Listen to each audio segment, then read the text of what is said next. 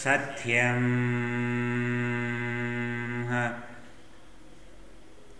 तत्सवितुर्वरेण्यं भर्गो देवस्य। धीमहि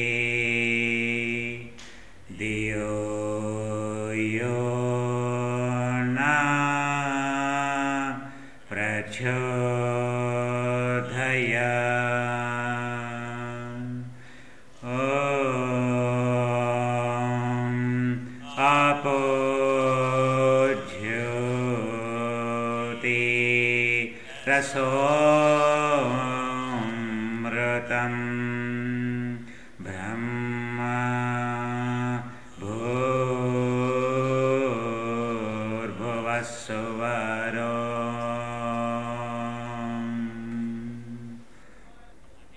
The Hatha Yoga Sampradaya comes from the traditional Hatha Yoga comes from Swatmaram, who has given the text of Hatha Yoga Pradipika, the text which contains the curriculum and syllabus of Hatha Yoga in nutshell, and represents the entire tradition of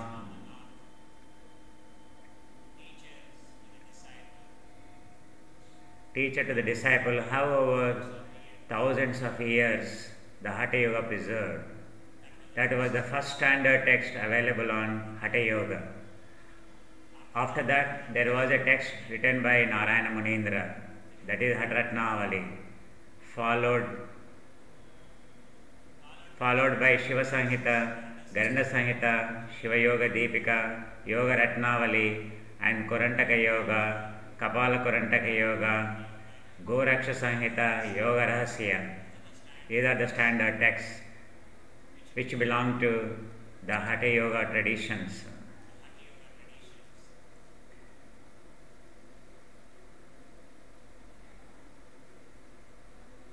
The Hatha Yoga concept is based on Shat Chakras.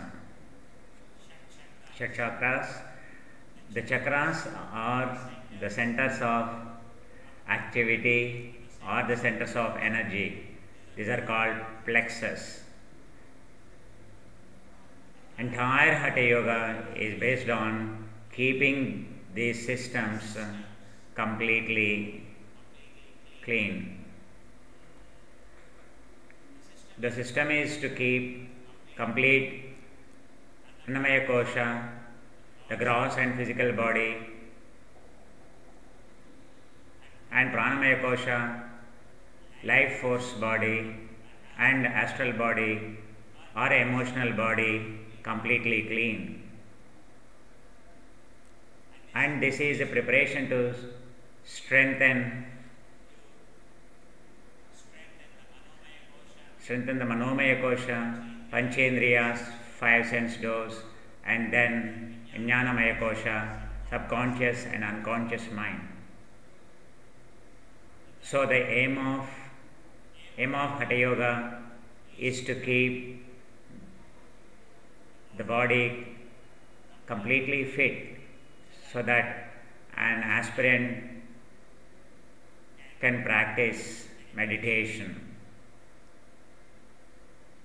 That's what Swatmarama gives in Hatha Yoga Pradipika. He clearly mentions Hatha Yoga as a preparatory tool for practicing Raja Yoga systematically to gain mastery over mind and to purify the subconscious and unconscious mind or to change the habit pattern of unconscious mind. So, Hatha Yoga practice not given by the Patanjali but given by the Nath Gurus and the texts of Hatha Yoga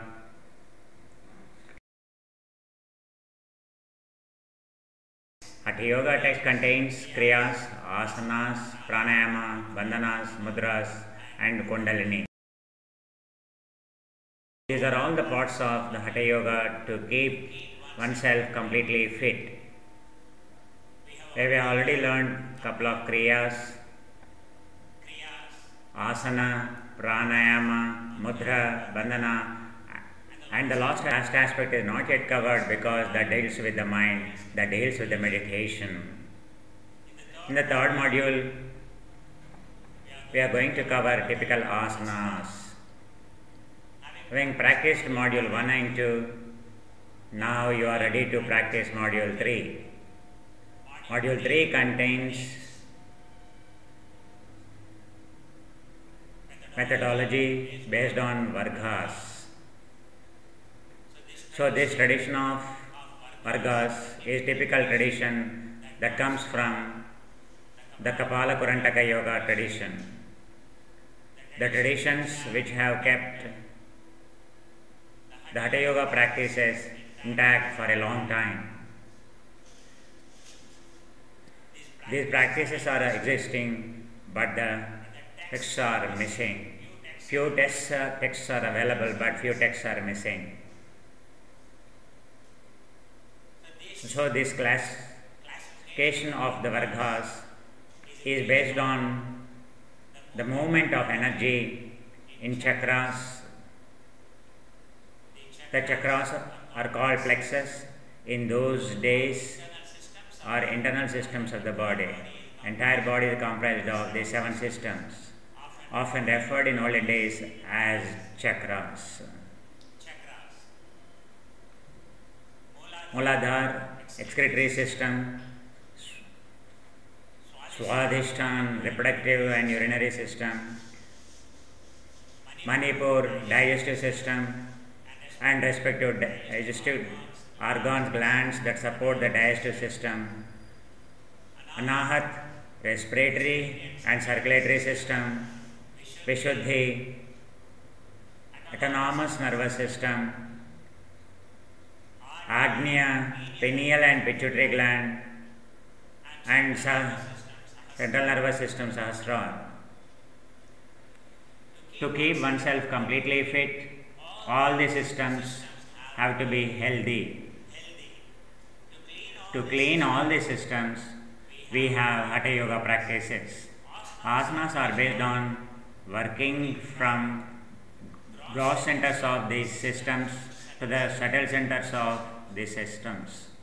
The gross center, like an excretory system which contains solid element, then you have a liquid element in your urinary and reproductive system, which is referred as Swadhisthana, Manipur, fire element, and air, and air, air element, your respiratory and circulatory in Anahat, and Vishuddhi, space element. So, for oneself, to keep oneself fit, all these elements have to be balanced.